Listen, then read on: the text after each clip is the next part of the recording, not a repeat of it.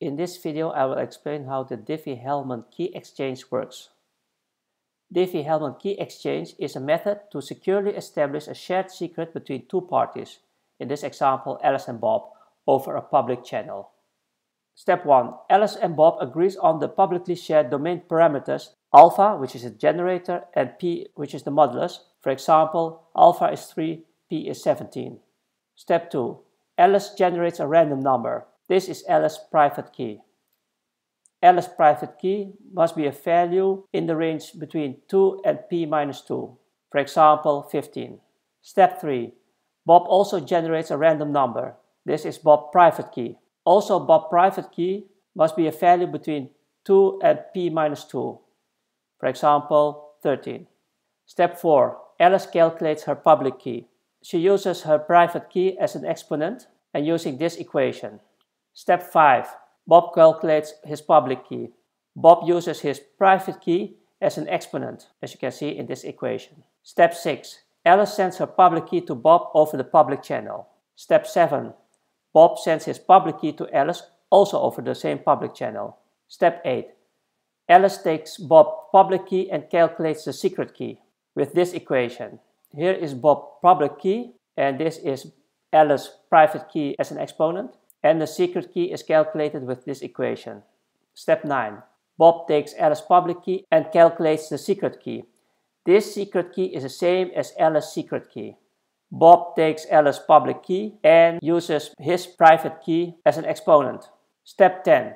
Alice and Bob can use the secret key, also known as session key, in a symmetric key algorithm, for example AES, to encrypt and decrypt their messages. So here's the proof that Alice and Bob's secret keys are the same. Alpha to the power of Alice's private key is assigned to variable A. Alpha to the power of Bob's private key is assigned to variable B. This is the equation of Alice's public key and here's the equation of Bob's public key. Alice calculates the secret key using this equation. So if you look at the public key of Bob, that is this part, and here is Bob's public key, this is Bob's public key equation. If I replace this exponent with b, then you get alpha b, and then the private key of Alice, that is a, and I write a over here. If I do the same with Bob's secret key, this is Bob's secret key equation. Here is the public key of Alice. This is the equation of public key of Alice. If I replace this part with A, so alpha A mod P, alpha A mod P, and then the private key of Bob, that is B. And if you look at this equation, alpha AB is the same as alpha BA. And if you look at both equations over here, then they are the same. So this is the proof that Alice and Bob's secret keys are the same.